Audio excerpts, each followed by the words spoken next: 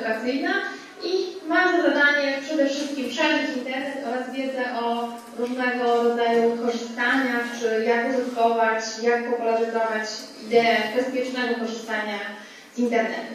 Mamy jeszcze pytanie, czy macie wszyscy telefony?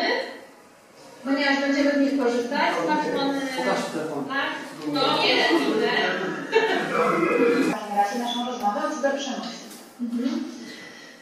Jakiego, jakie zagrożenia, jakich zagrożeń obawiają się młodzi internauci, czy w ogóle internauci? No to zależy, którzy. Mhm.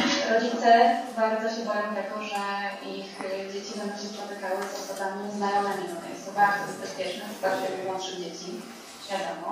Dzieci same wskazują, dzieci młodzież wskazują na to, że raczej nie odpowiada im w internecie to, jak dużo tam jest y, treści przemocowych, brutalnych, z wypadków. I tego tak się obawiają, tego w tym internecie nie do końca chcą oglądać. Natomiast no, zawsze gdzieś w każdych badaniach pojawia się cyberprzemoc. E, jako zjawisko, no, które dotyka wielu młodych internautów. To co to właściwie jest? No my tak mówimy od samego początku, o cyberprzemocy, o co to jest? Cyberprzemoc to jest takiego rodzaju przemoc e, rówieśnicza, która się odbywa za internetu i komórkowych. Różne, różne przejawy.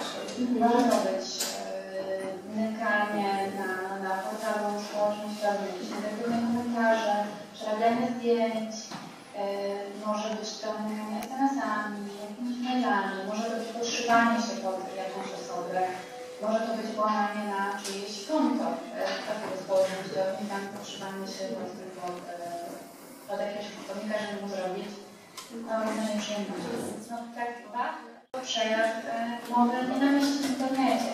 Tam hejtem będą już komentarze pod jakimś filmem znanego youtubera, czy w ogóle w komentarzach różnych portalów informacyjnych. Hejtem będzie w ogóle sposób komunikacji, tam wulgaryzmów, agresywnych treści. Tego hejtu jest, e, jak widzimy, No jest taki fora, prawda?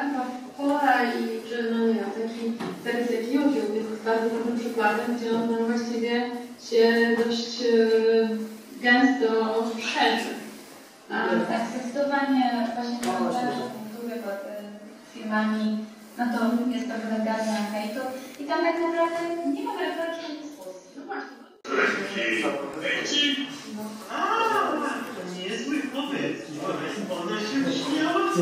Dziś my się pośmiejemy.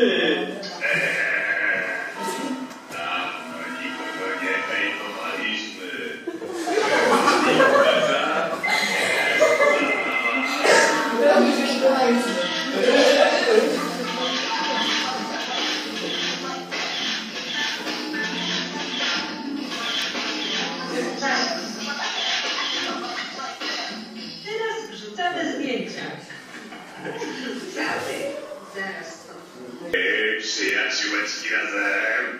Hej, czas zacząć.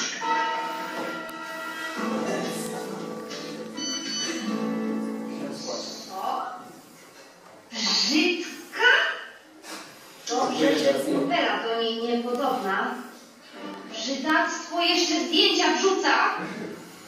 Nie! Nie!